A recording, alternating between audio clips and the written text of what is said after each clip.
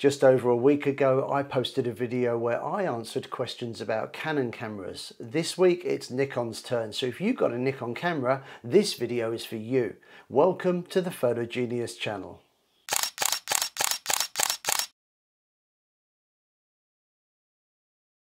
Hi, Paul here from Photogenius. Welcome to my channel where I post regular photography tutorials, I share tips and tricks, occasionally I do gear reviews, and sometimes I do Q&A videos just like this one. And today's video is all about Nikon. I'm going to try and answer all your Nikon questions um, and there are quite a lot that were posted to the YouTube channel. So with no time to waste, let's get into it.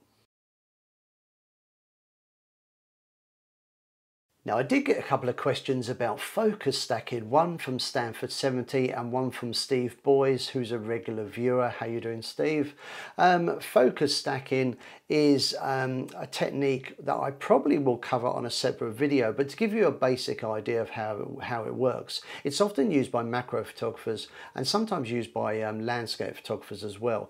Let me give you an idea. Let's say I'm doing a landscape and in the foreground I have some rocks, in the midground, I have, let's say, a waterfall, and in the background, in the distance, I've got some mountains. Now, as some of you will probably know, trying to get all three of those elements in focus is a, a, real challenge. Well, focus stacking works like this. You focus on the rock in the foreground, you take a picture, you focus on the midground, the waterfall, you take a picture, you focus on the background, the mountains, you take a picture. And then using software, you stack the images together so that you get a really deep, long, extended depth of field. So everything is nice and sharp. I mean, in a nutshell, that's roughly how this works. Now, with some cameras, it can actually be done in camera, but generally you use additional software. Um, Stanford 70, you've got a D30 3300. Steve, you've got a D3500.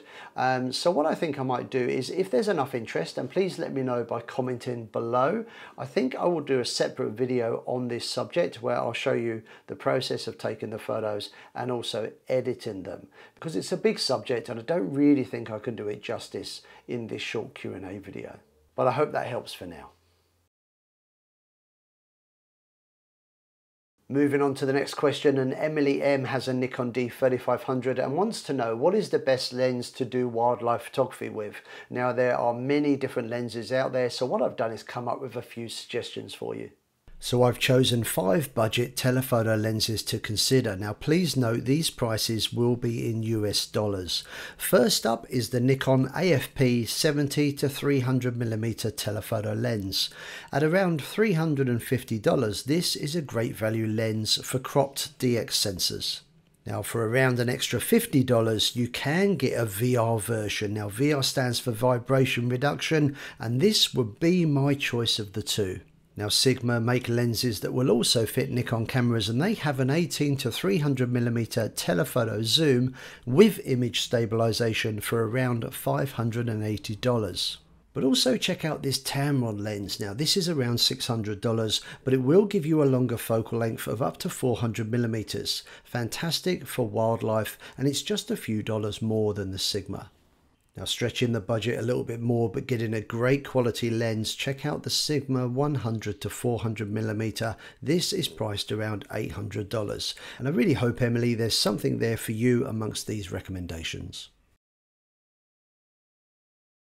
The next question was all about the Nikon D5200. How is it in 2021 and how does it stack up against some of the newer, more expensive Nikons? So firstly, let's start with the, the age of the camera. The D5200 came out in 2013, which means at the time of making this video, it's about eight years old. And technology moves and evolves quite quickly in the world of photography. So what I did is I looked at the specs and compared them with Nikon's current entry-level DSLR camera, which is the Nikon D3500. And I did that because this is a really great camera. It's absolutely amazing. Now, spec um, comparing the specs what was really interesting was the specs were almost exactly the same. So the D5200 would have sat a bit higher in the range at the time. It wasn't the entry level camera but all that technology is now filtered down to this camera. So I don't know if you've already you already own the D5200 or you're thinking of buying one but if you are thinking of buying one and it's in good condition because it's likely to be second hand of course I would go for it because it's actually better than this in terms of the features. Um, for example, it's got a, an older processor, but not by much. EXPEED 3 processor, EXPEED 4 processor. I don't think that's a big deal breaker. Focus points. In the D5200, there are 39 focus points compared with the D3500's 11. Um, LCD screen. LCD screen on this camera is fixed, but on the D5200, you can actually articulate the screen, you can flip it out, reverse it, and so on. And I think that's a great feature. Uh, what else? Mic input. If you're going to do video as well as take photos, the D5200 has a mic input, whereas the D3500 doesn't. So I just think that was interesting to see that in eight years, um, these cameras are actually quite comparable, but the D5200 actually has some still pretty neat features that will set it apart from the current entry-level cameras. So you also asked how will it compare to more expensive Nikon cameras? Well, of course, if you're going to spend more money, you're going to get more bells and whistles, you're going to get more features. Now, again, I don't know from your very limited question um, what your budget is, what situation you're in, if you already own a camera, if you're upgrading, I really don't know. But of course, if you can spend a bit more, you are going to get a bit more in terms of functionality. Um, so I hope that helps. The next question comes from May Hume, who's struggling a bit in manual mode, using a Nikon D5600, comfortable by the sounds of things with aperture priority, but struggling with manual. Well, look, to begin with, this isn't a tutorial video. Of course, this is a Q&A video, but I still want to try and help you. So the first thing I would recommend is to watch my video, which is all about controlling exposure, and I'll put a link up here so you can check it out. But um, actually, to get you started, let me just give you some pointers. This is a Nikon D3500 and we can clearly see the current shutter speed, aperture and ISO settings on the LCD screen. Now the first thing I'm going to do is to change the ISO to my preferred default which is 200. Remember where possible ISO keep it low. Now the camera's light meter is currently indicating overexposure, so to fix this I'm going to increase the shutter speed by turning the dial on the top of the camera. The faster shutter speed means less light will be recorded and as a result you can see the meter adjusting. Aim for zero for a balanced exposure. If you would like to learn more about exposure then use the link below to watch my video Exposure for Beginners. Are second-hand lenses any good compared to buying a new one? Well, look, I've done lots of photography workshops here in Brisbane and many times people have brought along lenses that they've bought second-hand. Lenses can be sometimes hideously expensive, but to be fair, you do get what you pay for. When it comes to lenses, if you could spend a little bit more money, it is really worth it. But of course, there's lots of people out there that get into photography, they buy expensive gear, and then they just don't use it. So it ends up on the second-hand market. So look, by all means, go out there and see what there is, because you can pick up some really good bargains. Just be really careful that the lens hasn't been overly, you know, used and battered and not looked after. So try and make sure that the glass is as as clear and pristine as possible. Just try and make sure that the, the zoom and the focus doesn't feel sticky. Put it on your camera, do a few test shots, and hopefully you'll pick up a bargain.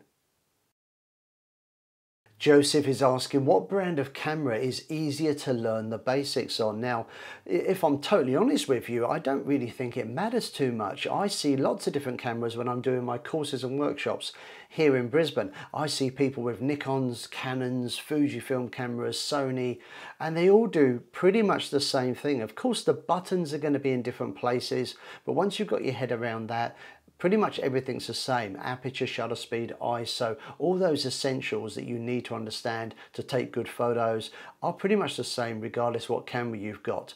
Um, i mean look I, i'm a i'm a big nikon fan and a nikon user but i also use canon cameras as well. And look i have to be honest here. I think looking at the nikons versus the canons i do find sometimes that from a beginner perspective the canon cameras may slightly have the edge because i do like the layout of the buttons and usually it's quite easy to navigate around the camera. And then again, this is coming from somebody who's posting a, video about Nikons and also is a big Nikon shooter. So, but look, it, it doesn't matter. Whatever you end up with, the key thing is to just get out of auto, get into manual, watch some of my videos, learn the basics and have fun with your camera. Hope that helps, Joseph.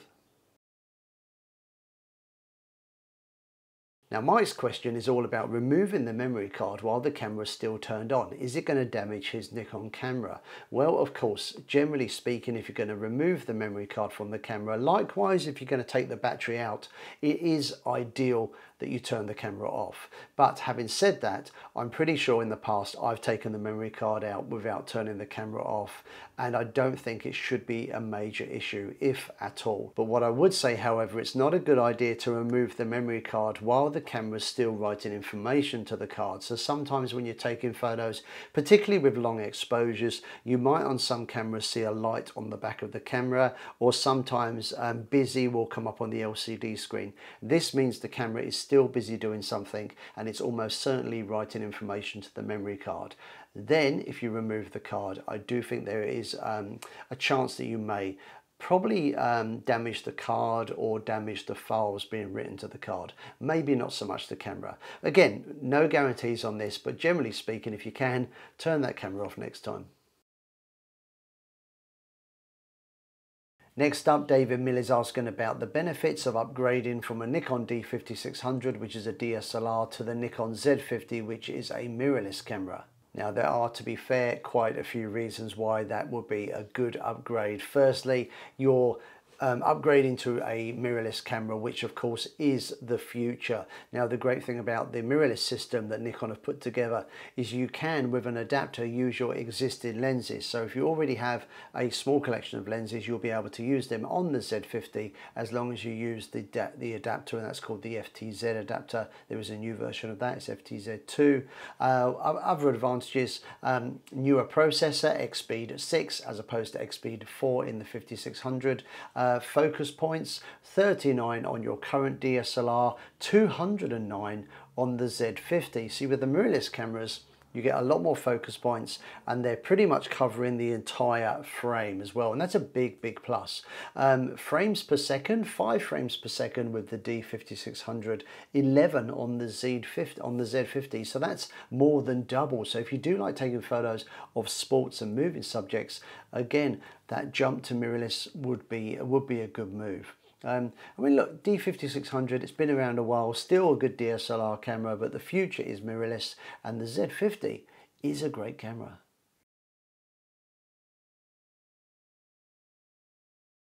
Next up, Natalie is asking for a lens recommendation to add to her existing kit, which is a D3400 and the 18 to 55 millimeter lens, photographing food but on a budget. Well, I think there's just two lenses to recommend here. They're both prime lenses, and I would check out the 50 millimeter f1.8G and also the 35 millimeter f1.8G. So they're both prime lenses, which means you're going to lose the zoom, but that won't be an issue. What you're going to gain is the the wide aperture. f1.8 is considerably wider than the current kit lens is allowing you and uh, what that's going to do is of course it's going to perform better in low light but also and I think this is going to be key for you is it's going to allow you to create a very shallow depth of field so the food is nice and sharp and anything in the background will soften and blur. They're both very popular lenses.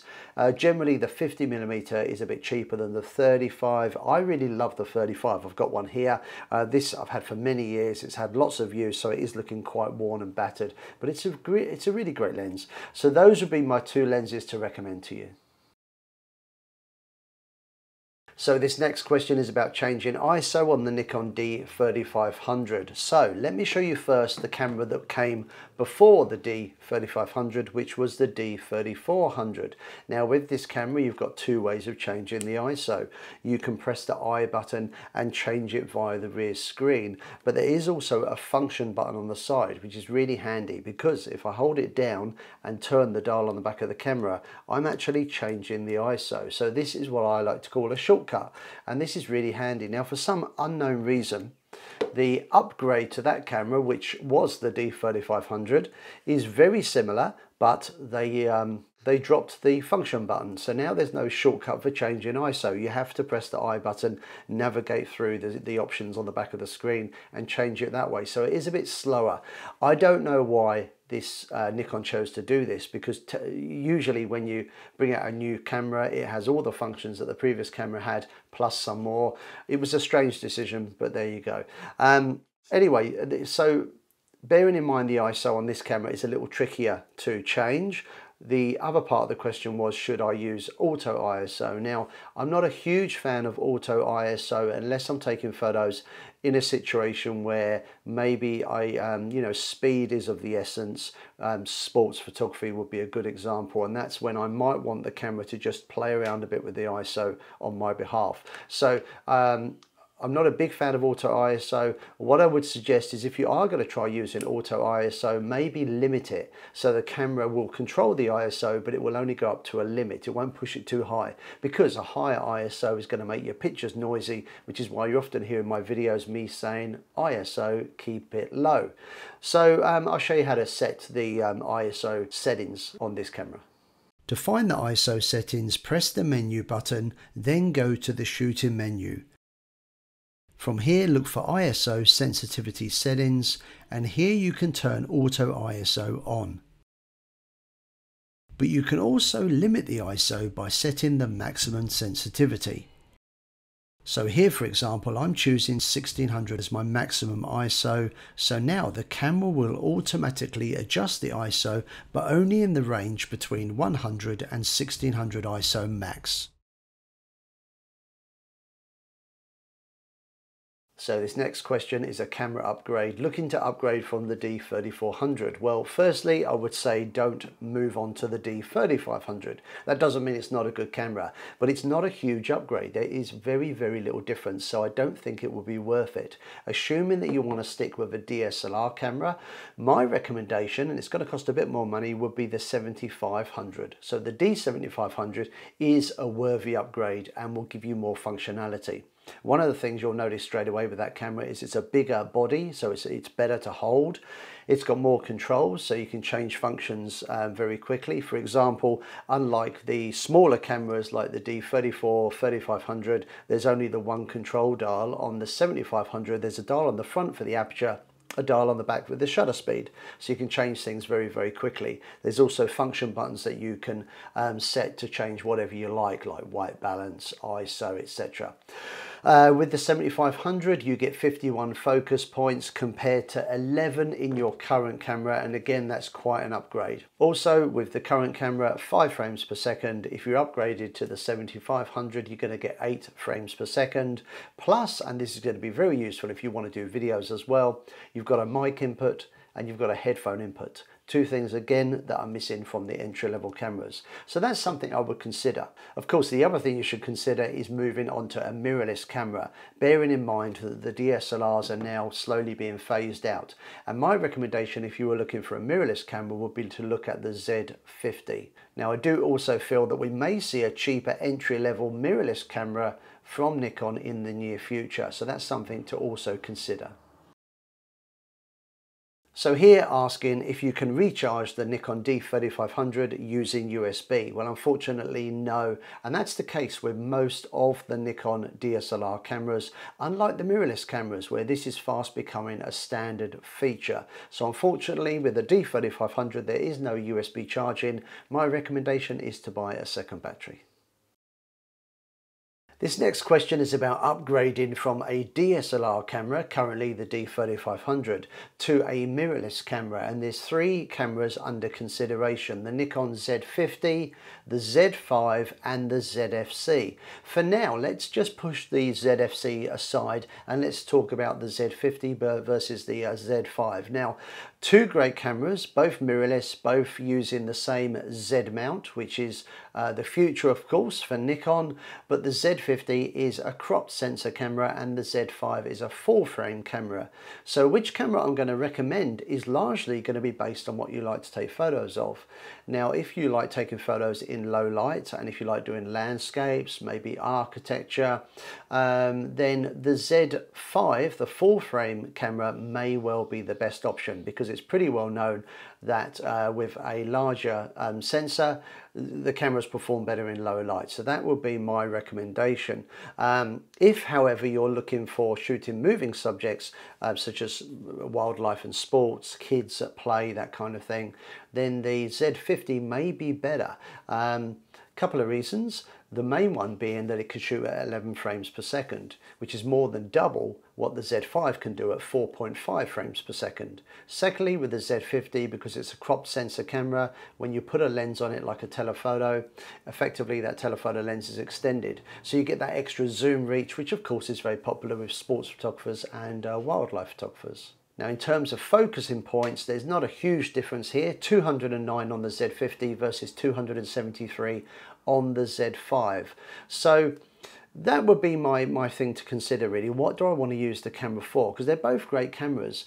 Um, Z5 performing better in low light, but being maybe a little bit slower in performance. The Z50 being a bit more zippy and faster in performance, but of course it is still a crop sensor camera, which you would be used to, of course, with the, um, the D3500. Now, assuming that you did decide to go for the Z50, now let's talk about the difference between the Z50 and the ZFC. Well, I've mentioned this in a separate video. I'll pop a link up here. It is worth checking out. I've got the ZFC. I'm using it to record this video, so I can't actually show it to you. And it's a great camera. But the biggest difference between the Z50 and the ZFC is, is really in the styling. I really like the retro styling of the ZFC, which is why I got it. Um, the Z50 is a very similar camera. Of course, there's a few other differences as well, and I'll cover those in the video. But if you are deciding to go for the cropped sensor mirrorless camera and it's literally between the Z50 and the ZFC, it may just come down to the look and the handling yeah, because pretty much the features are exactly the same. I hope that helps. So I'd like to say thank you for watching. I really hope you enjoyed the video where I tried to answer as many questions as possible without this video getting too long. I'd like to say a special thank you of course to those of you who took the time to post a question. Now if you did enjoy this video it really helps me and the channel if you give it a like please consider hitting that like button. Also make sure you're subscribed because I try to put out new videos every single week and of course you don't want to miss out on future videos. That's pretty much it other than say thanks for watching. Hope to see you again sometime soon. See ya.